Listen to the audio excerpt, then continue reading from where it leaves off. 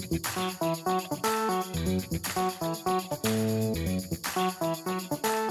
はい、こんにちは。始まりました。フォトグリッシュの岡崎です。すいません。ちょっと更新が滞ってしまっていますが、ちょっとしばらくですね、こう、家族の体調とか僕の体調が整うまで、しばらくまちまちの更新になるかなと思いますが、引き続きよろしくお願いします。では、今日も毎日リスニングやっていきましょう。今日は呪術廻戦第13話の真人とナナミンが戦うシーンのところを解説していきます。では、聞いてみましょう。I'm so grateful to you. Save your gratitude.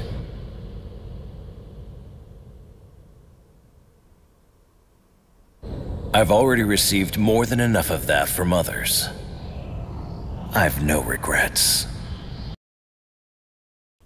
I'm so grateful to you. Save your gratitude.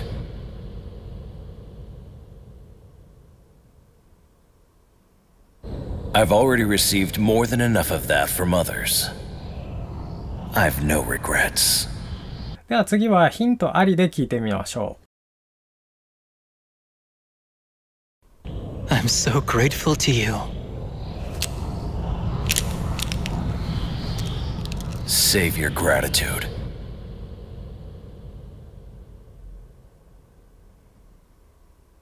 I've already received more than enough of that from others. I've no regrets. I'm so grateful to you. Save your gratitude.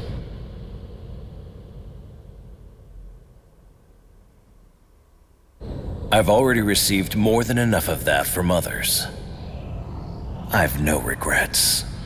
はい。という感じでした。では、ここから回答に行くので、聞き直したい方は動画を戻して聞き直してみてください。I'm so grateful to you. Save your gratitude.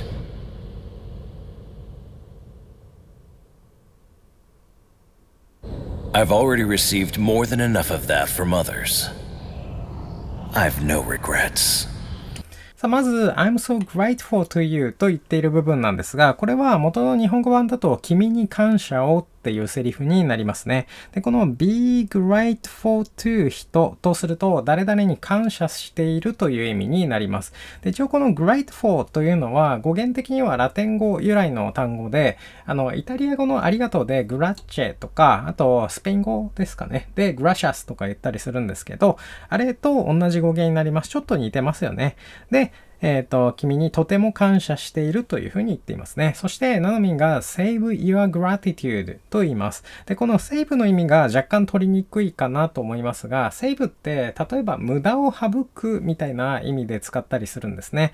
で、この your gratitude で、この gratitude というのは grateful の名詞に当たるので、まあ、感謝の気持ちとかになるんですが、まあ、あなたのその gratitude は今もいらないから私には必要ないから省いていいですよ。取っておいてください。くださいとか、そんな感じになりますね。で、こういう言い方って結構して、個人的に好きな表現は save the lecture とかですね。で、相手がこうなんか説教してきたりしてる時に、もうそういう説教いいからみたいな感じで使う表現になります。これも海外ドラマとか映画とかで聞く表現になりますね。でそして、I've already received more than enough of that from others と言っています。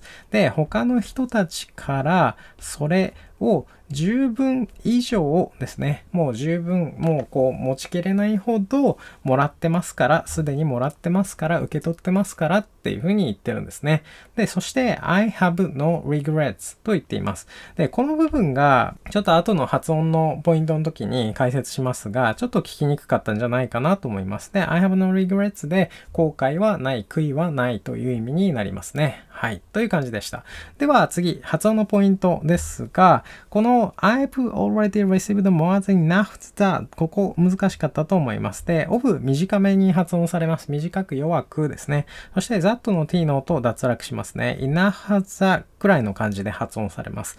そして、I have no regrets の部分、この H の音を落とす感じで発音するといいですね。で、あの、助動詞の時の、例えば、現在完了とかの I've みたいな感じで発音するといいです。で、I have no regrets っていう感じになりますね。なんで、ここ、スペルの上でも、こう、I've っていう風に書いても問題ないです。で、H の音は発音しない感じになりますね。はい、という感じでした。では、もう一度流すので、自分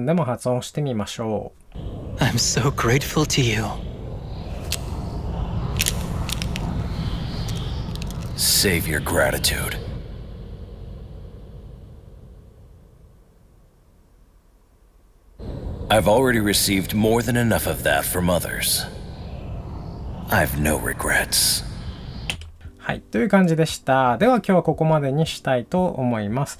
で、一応週に1回は更新できるように頑張ろうかなと思っています。で、あとですね、あの、コミュニティのクイズ機能とかを使ってクイズは更新していこうかなと思っているので、ぜひね、解いてみてください。では今日はこれで終わりにしようと思います。ぜひ高評価、チャンネル登録はあと絵文字一つでもいいのでコメントいただけると嬉しいです。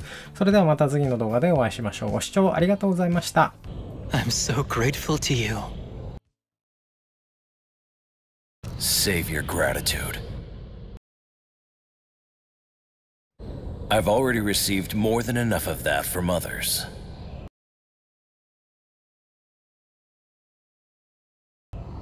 I've no regrets. I'm so grateful to you.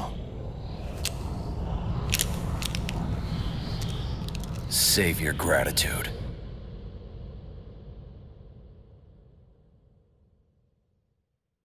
I've already received more than enough of that from others. I've no regrets. I'm so grateful to you. Save your gratitude.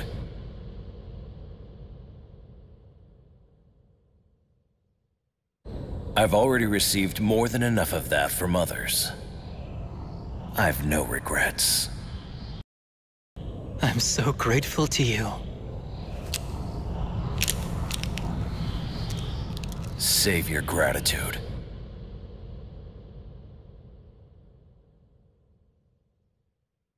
I've already received more than enough of that from others. I've no regrets.